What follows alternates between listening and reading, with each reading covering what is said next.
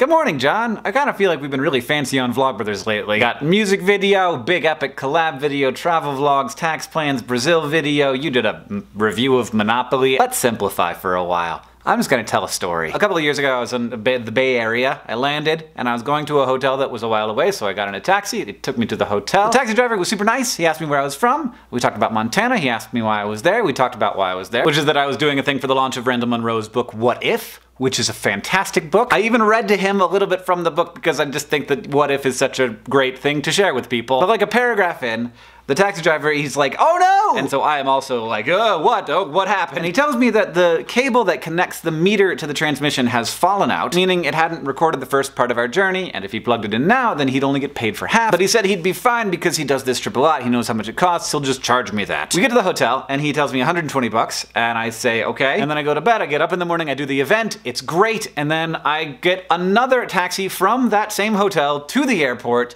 and it's 65 bucks. And then I realized, like it didn't even occur to me.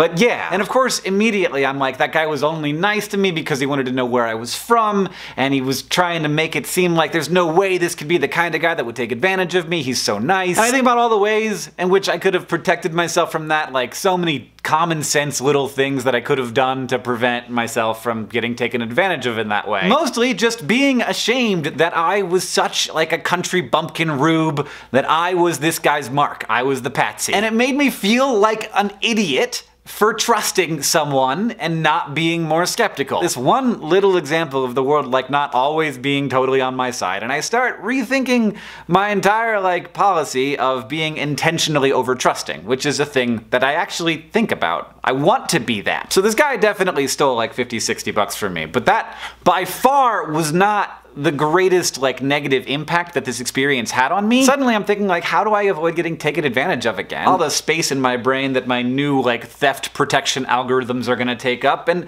just generally building a wall between me and the world that's gonna decrease my enjoyment of the world. And this from me, a guy who's pretty much got the whole world on his side. I'm a straight white dude with money. Just one little betrayal and I'm rethinking the way I think about all other humans? Come on! Maybe every act of trust is a gamble that we choose to make. But I think the feeling of being taken advantage of is way less pleasant than the feeling of having your trust be justified and having the good, desired outcome happen. On the scale of violations of trust, of course, a taxi driver stealing your money and you not being smart enough to like realize it's happening is really far down the scale. I don't want to say that this is like a huge, terrible thing that happened to me. I'm just surprised at the impact it had on me, and I feel like if I let that change the way I think about the world, that's not bad for the scammer or the thief, that's bad for me. But if that guy is rationalizing his theft, or if anybody is rationalizing them taking advantage of other people by saying like,